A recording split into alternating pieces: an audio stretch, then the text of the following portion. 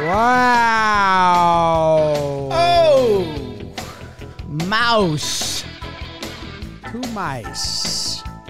Hello. Shortstop.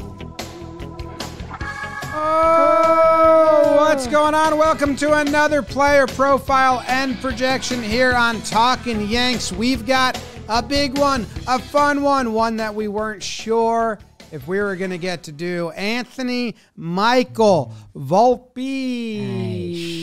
Volpe. He's announced as a starting shortstop for the New York Yankees. Pretty exciting. We had some empty slots we saved towards the end of these PPPs because you didn't know who was playing up the middle. It worked out perfectly that we were recording one today. And last night, Last night. it became official, Jake, that this 21 year old kid from New Jersey is a starting shortstop for the Yankees. Jim, let me give you a little history lesson. Rizzuto. Mm-hmm. No, I'm not doing that. Um, I went back to 2019. Didi Gregorius had been our shortstop for a few years. He had a weird final year as a Yankee coming off Tommy John, and he just never got settled in. Gleyber Torres was supposed to be given the shortstop role. It did not go well at shortstop. And then we've been in a weird little area where we've had two of the best shortstop free agent classes ever. We had a stopgap year of shortstop with two prospects along the way. One we got a taste of. And then it came into camp, and this Volpe kid, who we've heard so much about, and ever since his two, uh, 2021 breakout minor league campaign, and everyone we've ever talked to in the Yankees organization who's mentioned him said he's next. Um, and the time is now. So uh, we couldn't go on Volpe until we saw that they would go on Volpe.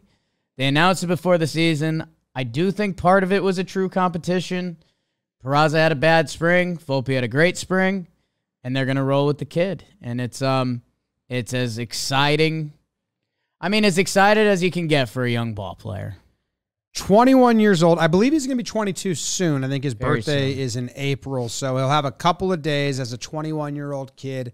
Um, yeah, man. I mean, it's really cool. It's really cool. And I want to, I want, when we talk to Booney soon, I want to ask him what his leash is and what, the, like, cause I hope Right. just let him, just let him play, let him flounder, let him fail, let him figure out the league and make the adjustment. Cause you made this call. And, and when Booney gave him the news that he was breaking camp, he said, uh, you know, you've only had 20 at bats in AAA. There's more development to have, but I think you should have that development happen in the bigs, is what Booney's words were basically. So, as fans who are very excited, and finally we have a shortstop that's supposed to be the mainstay. Like, we haven't had that since Didi in 2015, who even then, you weren't really sold that he was going to be the. You get into that. Gonna caveats a get a little bit because Like- the job was given to Gleyber to be the shortstop, but he couldn't hold on to it. Yeah, but he kind of muddied up because he started at second. Yeah. So they kind of muddied it up before they even like did that. But this is a young kid, so um, even IKF last year, who obviously we wanted to switch on and move on, it was because we this these kids were ready, and he was a stopgap. He was never sold as the long term guy. Like Volpe's being sold to us as you know through his free till free agency was six years. He's going to be the starting shortstop. So I'm excited. I hope the rest of the team plays around him uh, well, so the pressure's a little off him, and they get to slot him in the eight hole or the nine hole. I like the nine hole a lot because what he can provide, Jake, even if the bat has to develop more and, and get used to it, is speed and uh, at bats or speed and defense. I meant sorry, like the speed is crazy valuable. The speed is crazy, Velvy. I, I you can tell how excited we are. We got to circle back on a lot there, uh, even what you just ran through, um, because defensively, let's see. Uh, we've we've heard the kid is good with his hands. We've heard if there's any question, it's about arm strength. That can mean a lot of different things. Um, you know, Dansby Swanson won the Gold Glove in the National League last year, and I think he was the best defensive shortstop. And he has questions about his arm. So if you use your arm the right way, uh, it, it's not a problem. Let's see what Volpe looks For- like. his arm looks good in spring. For anyone that has watched, like he's no double pump, quick with it. And mostly it looks like he has his decisions made before the ball gets to him. And he's just like concise or confident and like get the ball. Oh, I'm going to first. I'm going third. I'm going home like right away. That's what I've seen in spring that I've really liked. And let's see, and and we're gonna see a lot of what he looks like overall as a ball player. I, I know me and Beebs were talking this morning, like what what what's his opposite field power swing look like? I don't know, but we've seen him go to dead center. Um, I remember the like storyline last off season about him or last spring training was that like he went to one of those like pitching labs to get his arm strength improved upon. So like he's he's worked on that. Get strong, kid. Um, where Jimmy was heading is what to expect from Anthony Volpe. Speed for sure. Uh, 50 stolen bags in 132 minor league games last year. Um, he had 33 in 109 games the year before that. He's used to the pitch clock and the big bags. He played in them with the minor leagues last year. The kid is going to run, and that's going to be exciting, especially if he's in that nine hole, which they said will be at opening day. We'll see how long he's in that nine hole. Uh, him in front of DJ LeMahieu is awesome. Uh, I mean, you know, if the hit and run makes a comeback, it, it sounds like you have the perfect combination there. Um, and, you know, within that, in 21 in 109 games, he had 27 homers in the minors. He had 21 homers last year. And, you know, doubles, when you have that kind of speed, whether it's natural pop or what, you're going to run into doubles because you're fast. So, um, Anthony Volpe is going to be a shot of life to this team. And when we're talking expectations, whether defense or just being a young ball player in general, Anthony Volpe had 22 games at AAA. Let's call that the month of April. Uh, 99 plate appearances, 236, 313, a 718 OPS. So he he came up to AAA, didn't light it on fire. It's not a bad stat line, but it's not a good stat line. It's not what he's expected to be. So in this first month of Anthony Volpe, I think the Yankees know that they've made this decision. He's at shortstop this year. We gotta we have to ride all of it out. And by the way, I don't think there's gonna be a lot of it to ride out. But if it is the first month, which for a lot of young baseball players, it's tough to adjust to the big leagues. Um, make sure you're giving Anthony Volpe some leash at home. Yeah, cheer him on and, and hopefully get on base and have speed. He's supposed to have really good control of the zone, Yes. even for a young a young player, which is nice. And I think in spring, what was his on base percentage in spring? Four hundred, which spring stats, Right. blah. You've heard us say it a bunch. You know, Higgy hit ten home runs, Bird hits ten home runs, Wade had a great spring every single year, and doesn't always translate. Um, I'm choosing to believe it will translate in some regard, in in not results, but in base running, and what I saw in his like throwing motion and not swinging at balls. The only thing that would change there is you get a little antsy, you get a little like you want to get that hit. I hope he gets his first hit out of the way early, Love that. right? He's gonna get First- a big ova- ovation. First hit, first swipe, first homa.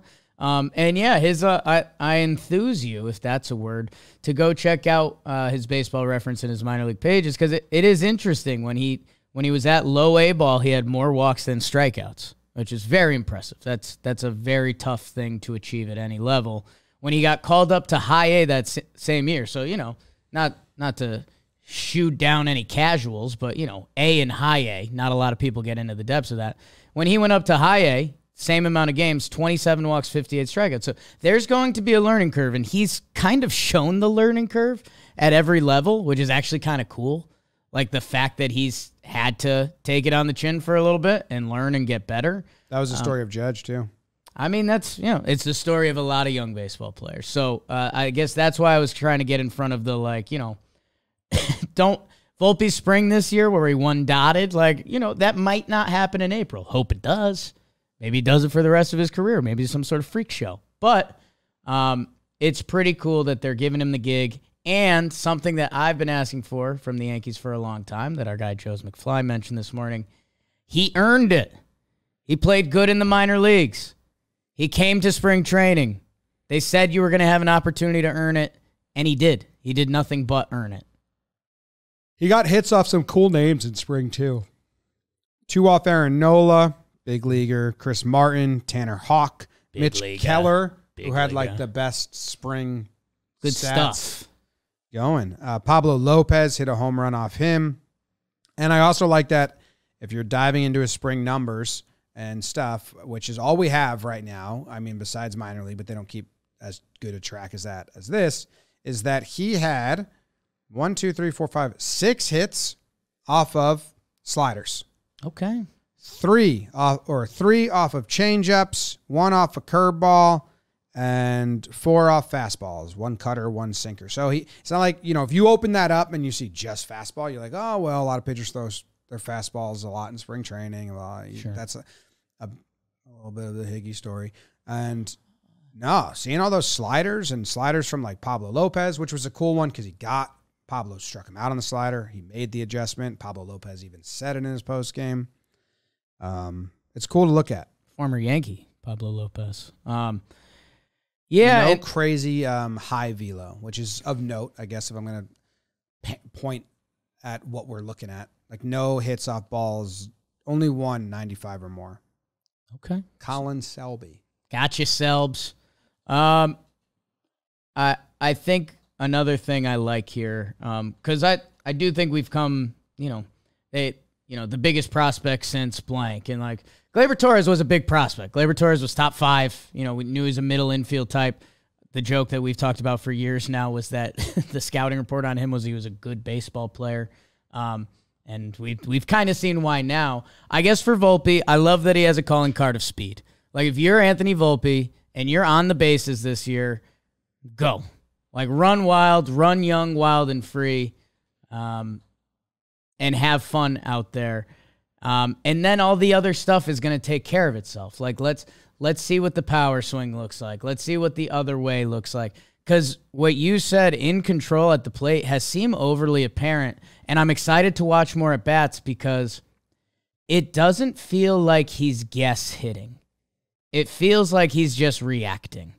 Um, to and again, I'm I've watched you know his 20 spring training games this year, so I don't have the full scouting report, but I'm interested to see what that looks like because it does seem like he's in control at the dish, kind of like that old school approach of like if I'm looking for a fastball, but if you throw a breaking ball, I can adjust to that and hit that too, which would mean he's a very special baseball player.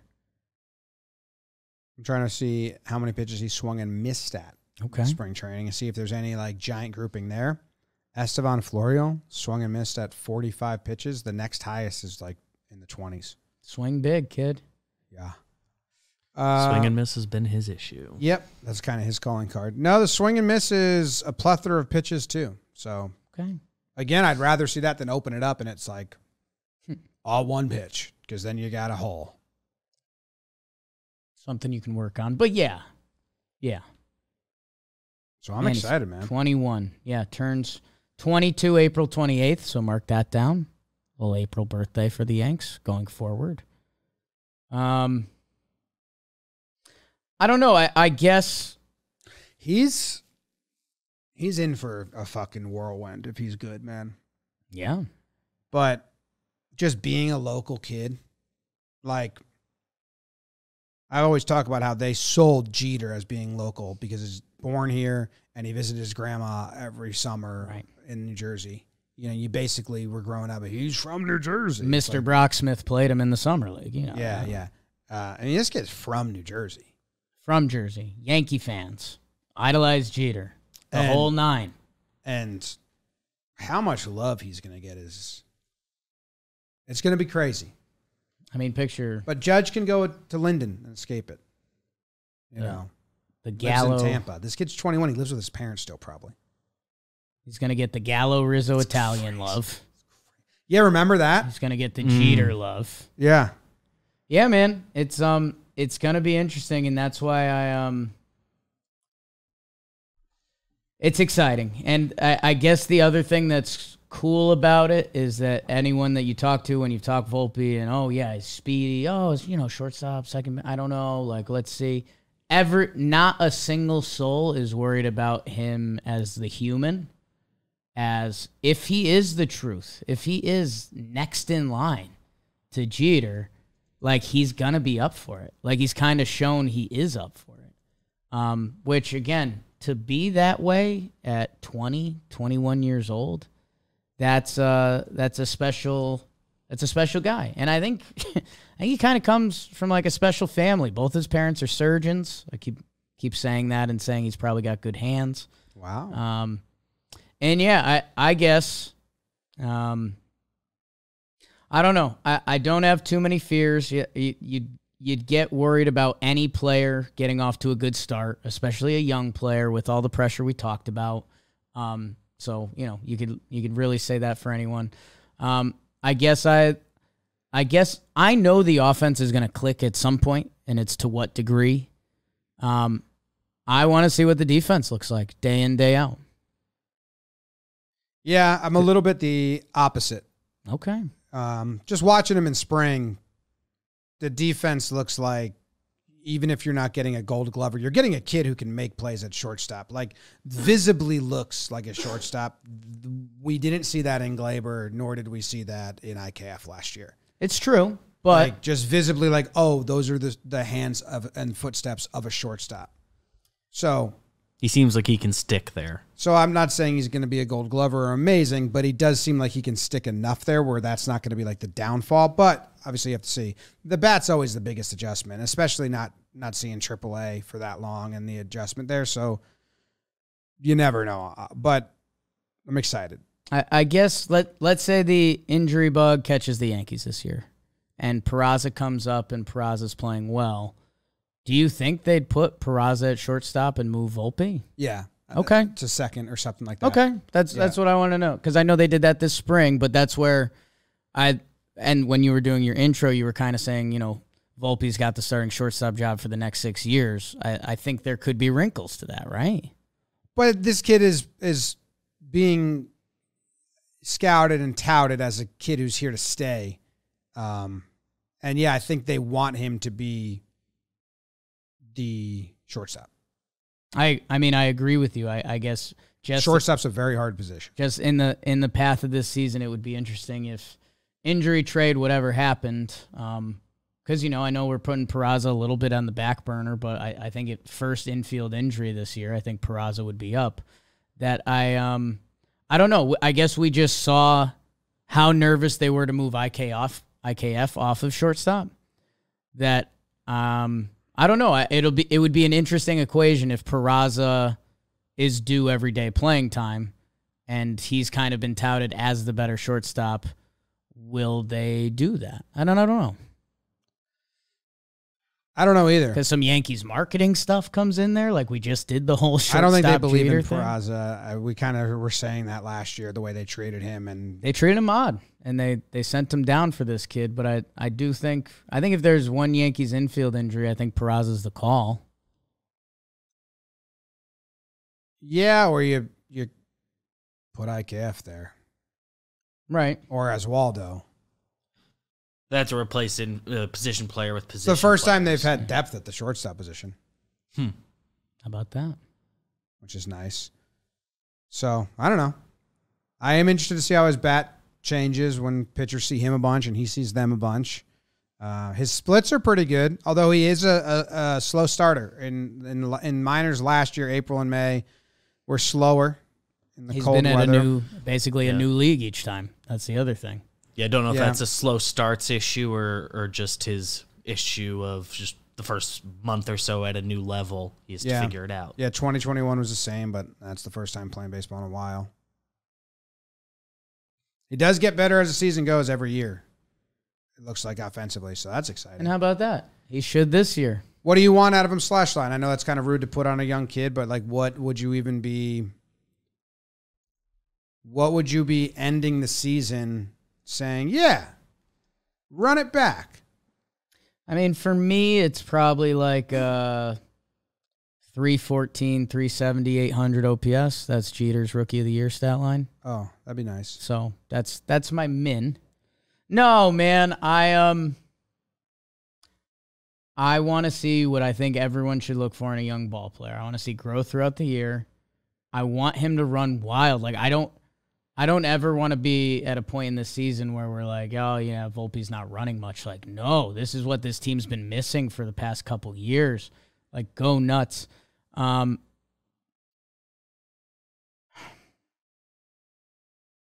what are you going to measure him on? Yeah, I'd like the batting average to be up, like above 250 and the on base percentage to be around 350.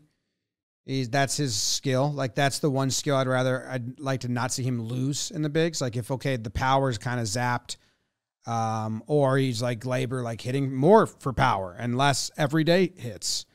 Um, but he's supposed to have a good eye. Had a good eye in spring. I'd like the on base because I think it's kind of like uh, you know, um, kind of like slows his nerves down too. It's a sign of that he's Right. not. He's composed in the box, taking his pitches, waiting for them to come to him. So, I'd like the on base percentage to be good.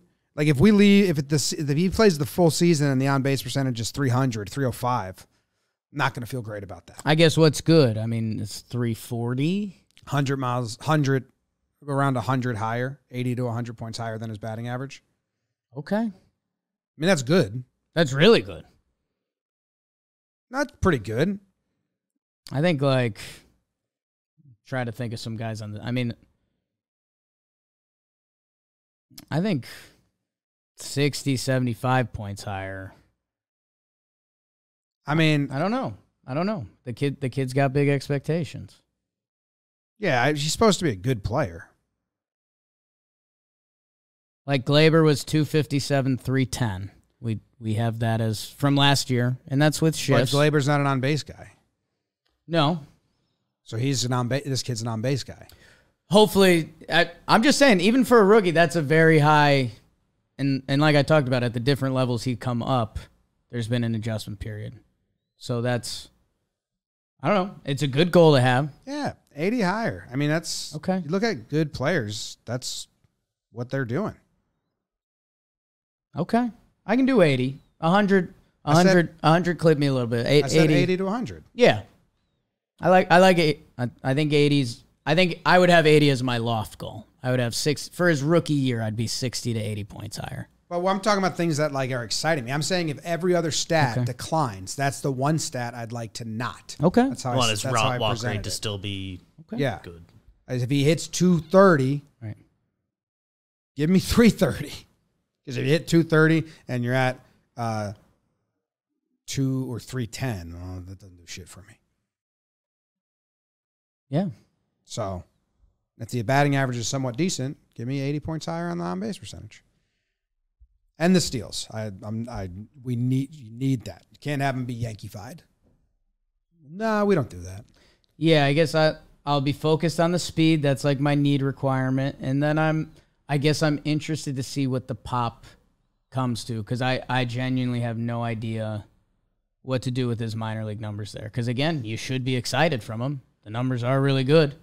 Um, you know, can will we be talking about him next year as a 15 homer guy, a 20 homer guy, a 25 homer guy? I don't know.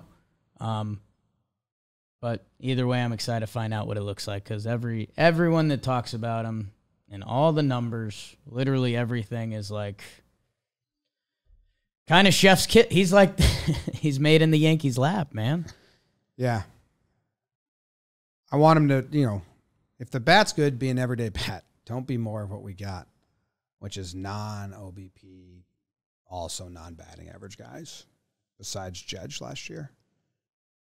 And Rizzo, I think he was re- still really good at on base percentage. Yeah. Yeah. All right. Steal the captain from Judge. Wow. Might as well. People are saying that. right from under his Judge nose. opening day. Judge presents him with a co-captaincy. Everyone else is like, what?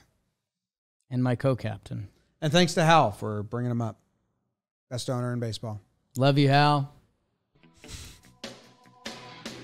And every episode like that now. Sure. Thanks, Hal. Church of Hal. Love the team, man. Hal's about to have a big 20 years. I don't know if everybody knows that yet. Does he know? George got booed before he, got loved. That's true. He was he would have been on a lot of uh, slideshows of bad owners before he became the best one. Judge is hyping him up. The Italy thing. You start getting It's older cool. and a little kooky. Cohen. Get one more story. Come on. All his relatives have died.